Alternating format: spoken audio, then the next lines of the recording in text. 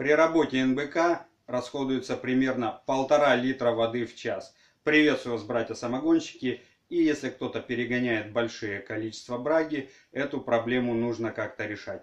Поэтому сегодня я хочу вам показать свой способ, как я решил эту проблему. Может быть, кто-то возьмет его на вооружение. Давайте покажу вам, как я все сделал. Самый простой бюджетный способ, как наливать воду в куб во время перегона, это поставить вот такой тройник прямо на крышку куба. Как видите, у меня стоит тройник. Здесь отвод под 45 градусов. И здесь заглушка, естественно. Когда нужно во время перегона добавить воды, вы открываете эту заглушку, ставите лейку и просто наливаете сюда воду. Добавили воду и закрываете это все опять обратно. Заливать воду в куб таким образом, конечно же, можно, но здесь возникла другая идея. Узнать, сколько воды в кубе находится в данный момент, можно только очень приблизительно. И поэтому у меня сразу же возникла идея снабдить куб показателем уровня. И давайте я вам покажу, как я это реализовал. Указатель уровня я организовал прямо через сливной кран. Вкрутил уголок, а на другой его конец одел силиконовую трубочку. Уголок это фитинг от металлопластиковой трубы. Как видите, с одной стороны здесь есть резьба, в моем случае она была, естественно, снаружи. А с другой стороны вот такой штуцер, на который э, хорошо одевается силиконовый шланг на 8. Для того, чтобы уровень воды был лучше виден в этом силиконовом шланге, я опустил туда вот такой кусочек пластиковой трубочки красного цвета. Видите, все отлично видно, э, до какого уровня доходит жидкость. Моя инженерная мысль работала дальше, и я вспомнил, что у меня есть вот такая заглушка, а в ней есть сквозная гильза. На эту гильзу можно одеть шланг, к шлангу подключить игольчатый кран и уже не снимая заглушки, через игольчатый кран подавать воду в куб. И поэтому я решил это все организовать. Сейчас покажу, что получилось. И в итоге получилась у меня такая система.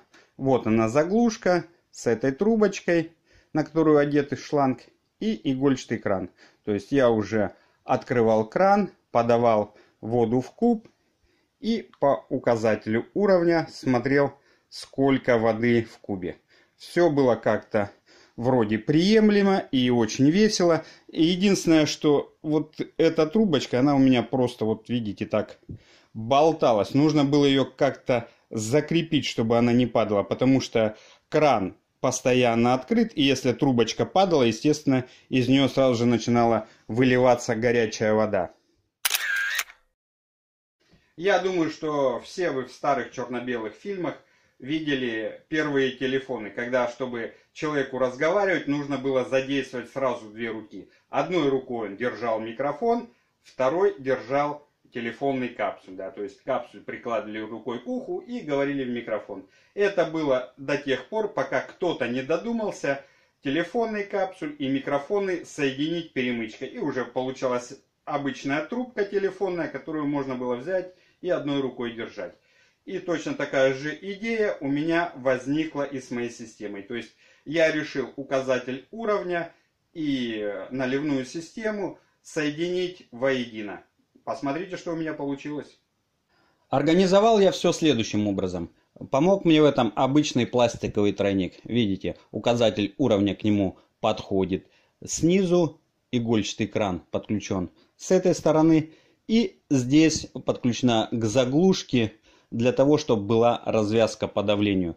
А в дальнейшем я выяснил, на какое положение нужно установить кран, чтобы, допустим, подавалось полтора литра в час. И делал следующим образом. Как только куб закипал, а, начинался процесс, я сразу устанавливал в это положение игольчатый кран, и вода у меня потихонечку-потихонечку подавалась в куб.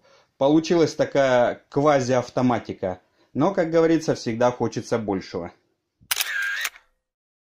Наша жизнь – это такой эскалатор, который движется всегда навстречу нашему движению. И если вы только остановились, значит вы сразу поедете вниз брать самогончики. Уже в следующем видео я покажу вам, как очень бюджетно сделать настоящую автоматику для подачи воды в куб. А пока, братцы, на этом все. Как всегда, ни голов, ни хвостов, чтобы не было у вас с Эми. Всем добра. Увидимся скоро. Лайк поставь.